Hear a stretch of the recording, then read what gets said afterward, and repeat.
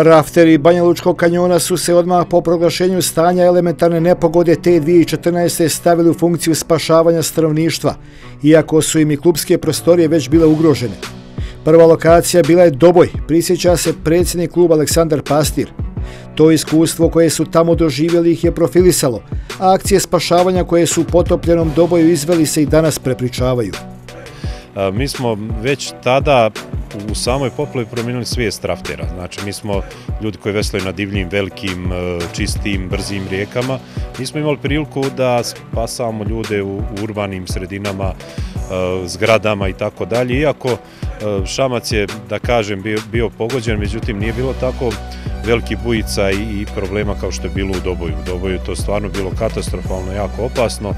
I evo, mi smo na samom e, terenu već promijenili svijest, jer smo odradili sve bez ikakvih e, problema, povreda samih spasilaca i ljudi. Smatram da smo odradili jedan dobar posao, tačnije dali smo svoj maksimum. E, sami građani institucije su rekle da li smo mi to uradili ili nismo, ali evo, mi smo ponosni na to što smo uradili, ali nismo stali, mi smo promijenili svoju svijest, e, odmah smo ušli u neke nove obuke, tako da poslije raftinga smo se uključili već od 2015. godine u veliku Rescue 3 Europe, tačnije international organizaciju koja se bavi isključivo spasavanjem, e, tako da evo napravo smo jedan veliki pomak. Od tada pa do danas rafteri kanjona su realizovali nekoliko desetina obuka, kako svojih članova, tako i pripadnika civilne zaštite. Sve ovo je urađeno da bi spremnije dočekali eventualne elementarne nepogode. Mi smo postali nakon tog odlukom Skupštine drugi vod za spasavanje na vodi pod vodom grada Banja Luke. Okupli smo članstvo kluba i tako smo formirali e, tu jedinicu. Uh, ono što, što naši građani, generalno javnost i, i institucije, uh, moraju da promijene svijest. Mi moramo da, da shvatimo da smo mi svi civilna zašta, da to nema veze sa tim ko je pripadnik civilne zašte ili ne.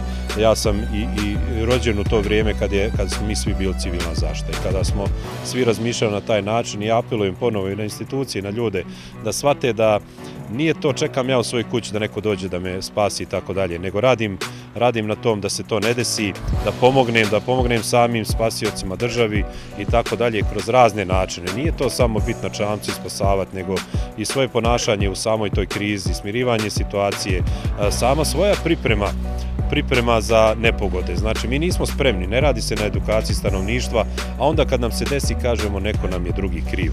Naravno, ima tu propusta sa svih strana, ali generalno moramo da promijenimo svijest da kažemo da, mi smo civilna zašta, meni moja familija je najbitniji, moj život je najbitniji, ja ću da spremim sve ono što je propisano nekim pravilima ili preporukama i da budem spreman ako živim u prostoru koji je uh, pogođen samim poplavom.